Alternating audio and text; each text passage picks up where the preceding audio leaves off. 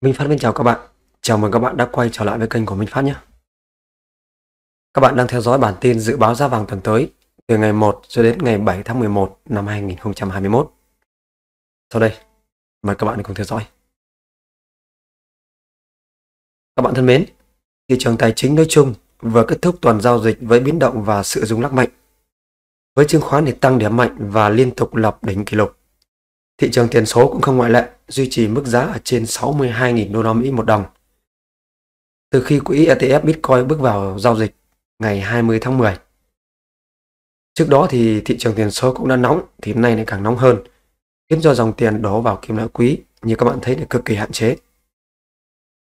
Như các bạn thấy thì giá vàng trong tuần này đã nhảy vọt đến mức cao nhất tuần ở phiên hôm thứ năm 28 tháng 10 với mức giá tăng vọt lên mức là 1.810 đô la Mỹ khi mà thị trường đón nhận cái dữ liệu kinh tế của Mỹ không như mong đợi.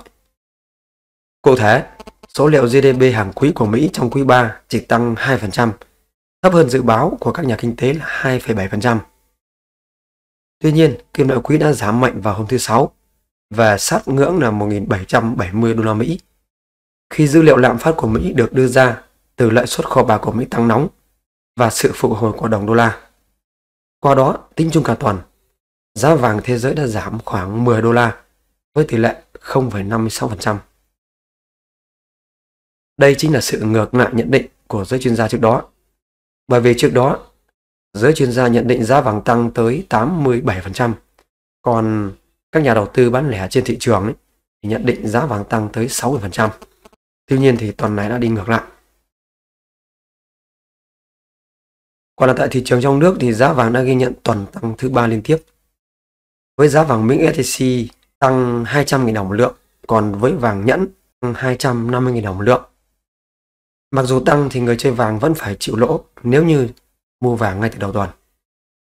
Qua đây cho thấy mức độ chênh lệch giá vàng ở cả hai thị trường trong nước và thế giới tiếp tục được giãn rộng khoảng 9 triệu đồng một lượng. Đây có thể nói là một mức chênh lệch cao và đẩy rủi ro về phía khách hàng. Nên người chơi vàng chúng ta cần cẩn trọng với thị trường trong lúc này. Hiện nay, lượng vàng nắm giữ của quỹ SPDR, quỹ tin thác vàng hàng đầu thế giới chỉ còn 982,14 tấn. Trong tuần này, quỹ ETF đã giao dịch tất cả là 3 phiên, với hai phiên mua 4,94 tấn và một phiên bán ra 0,87 tấn vàng.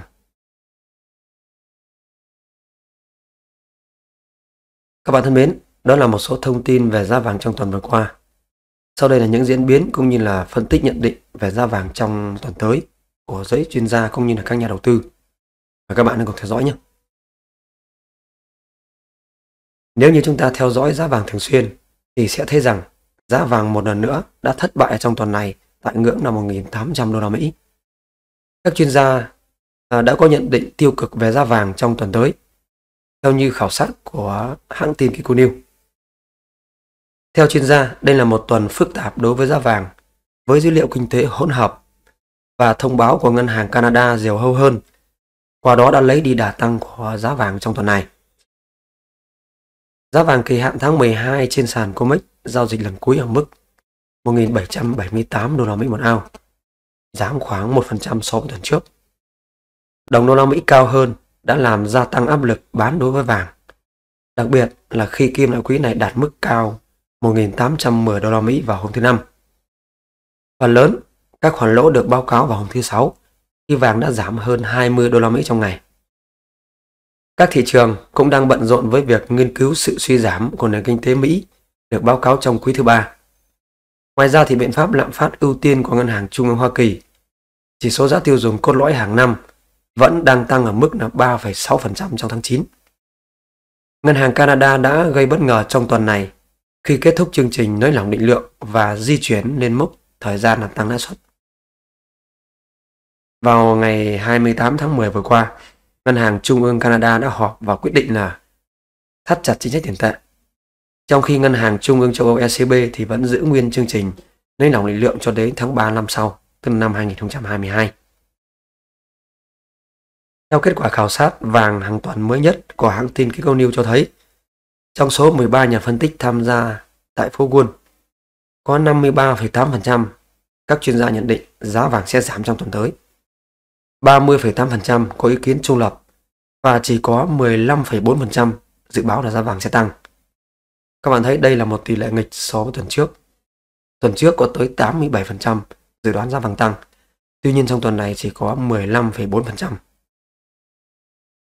Ở trên thị trường bán lẻ thì các nhà đầu tư vẫn lạc quan.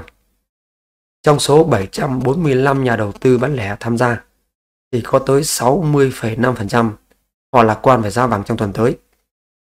22,5% cho biết giá vàng sẽ giảm và 17% có ý kiến là trung lập. Qua đây chúng ta thấy rằng giới đầu tư họ vẫn tin tưởng vào vàng quay trở lại mốc 1.800 đô la Mỹ. Tiếp theo đây là một số chia sẻ cũng như nhận định của giới chuyên gia và các nhà đầu tư. Mời các bạn cùng theo dõi nhé. Giám đốc điều hành tại Banok Bull Global Forex, ông Mark chandler cho biết, sự sụt giảm của giá vàng trong tuần đó là giá thị trường sớm hơn dự kiến và thắt chặt của các ngân hàng trung ương tích cực hơn. Tôi nghĩ giá vàng sẽ còn nằm trong xu hướng giảm giá. Triển vọng của việc tiếp tục định giá lại chính sách của ngân hàng trung ương có thể sẽ đè nặng lên vàng. Như thể thị trường đang nói rằng các ngân hàng trung ương nhận ra họ đang đứng sau đường cong lạm phát và sẽ nhanh chóng di chuyển để khắc phục tình trạng đó. Với mức tăng bắt đầu sớm nhất là vào tuần tới ở tại Anh. Như vậy, giá vàng đã kiểm tra mức cuối trên của phạm vi gần đây, nhưng đà bán tháo trước cuối tuần này đã đẩy giá vàng xuống dưới mức thấp nhất trong tuần. Mức tăng của tháng 10 như vậy là đã kết thúc. Mục tiêu ban đầu trong tuần tới là 1.768 đô la và sau đó có khả năng sẽ là 1.757 đô la Mỹ một ao. Các bạn thân mến, đồng đô la Mỹ mạnh lên là một lý do khác khiến cho các nhà phân tích đánh giá cao về giá vàng trong ngắn hạn. Chỉ số đồng đô la Mỹ đã mạnh và bất ngờ bật lên trên mức 94 điểm vào hôm thứ Sáu 29 tháng 10, khiến cho giá vàng đã buộc phải đứng ở vùng thấp. Trưởng phòng chiến lược thị trường, ông Colin Sezenki tại CA Management cho biết, tôi rất lạc quan về đồng đô la Mỹ trong tuần tới. Với áp lực lạm phát tiếp tục tăng, tôi nghĩ Fed có thể sẽ phải đưa ra một giọng điệu dẻo hâu hơn tại cuộc họp vào tuần tới và thông báo thẳng thắn hoặc gợi ý về việc bắt đầu giảm bớt việc mua tài sản. Thông báo của Cục Dự trữ Liên bang Mỹ Fed dự kiến sẽ đưa ra vào hôm thứ Tư ngày 3 tháng 11. Đây sẽ là sự kiện quan trọng chúng ta cần theo dõi vào tuần tới. Dữ liệu việc làm vào hôm thứ Sáu cũng đã cao hơn trong danh sách của các nhà phân tích. Phe trung lập cho rằng vàng sẽ vẫn bị mắc kẹt trong phạm vi giao dịch rộng của nó, cho đến khi giá có thể phá vỡ thành công mức 1.800 đô la Mỹ một ao. Như các bạn thấy thì đã rất nhiều lần thị trường chứng kiến và kiểm tra lại cái mức 1.800 đô la Mỹ, nhưng mà tất cả đều như thất bại. Mức cao nhất của tuần trước chỉ chạm là 1.814 đô la Mỹ. Tuần này mức cao nhất thấp hơn một chút là 1.810 đô la. Thế nhưng rồi tất cả đều quay về dưới mức 1.800 đô la Mỹ hết. Thị trường chưa thể chạm được mức cao nhất của tháng 9 là 1.834 đô la Mỹ một ao. Minh Phát đã từng chia sẻ ở các cái video khác.